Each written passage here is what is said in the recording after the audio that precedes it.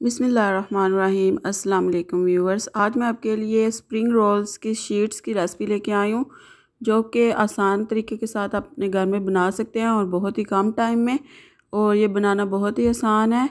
और चले जी, हम रेसिपी स्टार्ट करते हैं। यहाँ पर हम लेंगे एक बाउल। उसमें मैंने डाल लिया है वन एंड हाफ़ कप मैदा।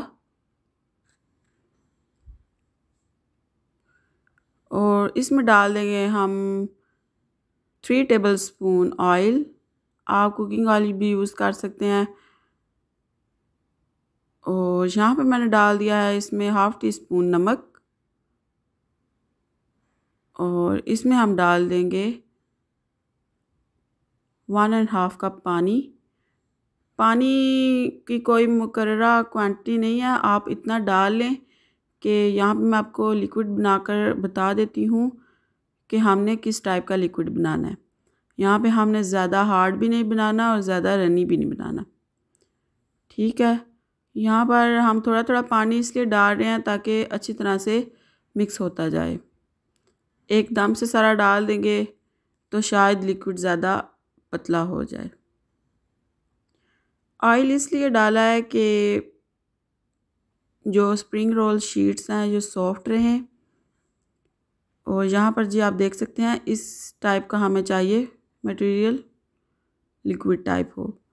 यहाँ पर हम ले लेंगे नॉन स्टिक पैन और फ्लेम कर लेंगे हम मीडियम टू लो और इसको एक दफ़ा हम गर्म होने के लिए रख देते हैं। और यहाँ पर आप देख सकते हैं मैंने किस टाइप का ये लिया है, चाय वाला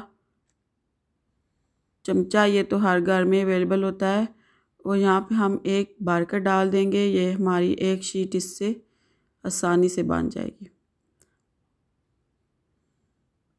यहाँ पर आप देख सकते हैं, ये देखें जी।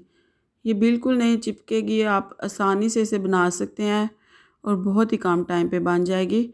और यहाँ पर आप देख सकते हैं, इस तरह हम इसको घुमाते जाएँगे ताकि हमारी शीट इक्वली बन जाए, कहीं से पतली और कहीं से मोटी ना हो।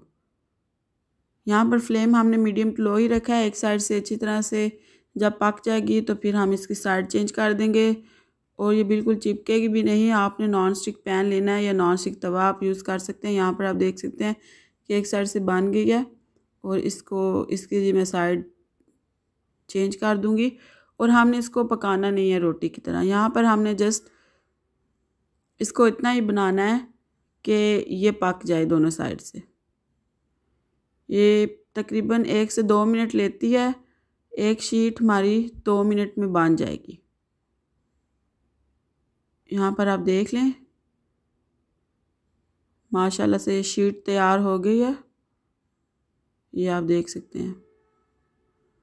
बहुत ही आसान तरीके के साथ और आगे रमज़ान आने वाले हैं। ये रमज़ान स्पेशल रेसिपी है। अगर आपको वीडियो अच्छी लगे तो लाइक ज़रूर कर दीजिएगा। और अगर ये वीडियो आपकी ज़रा भी हेल्पफुल है तो कमेंट सेक्शन में लाजमी बता दीजिएगा और चैनल को ज़रूर सब्सक्राइब कीजिएगा। ये देखें जी, बहुत ही आसान तरीके के साथ हम इनको बना रहे हैं। और यहाँ पर वन एंड हाफ़ कप मैदे की तकरीबन एट शीट्स बन गई थी।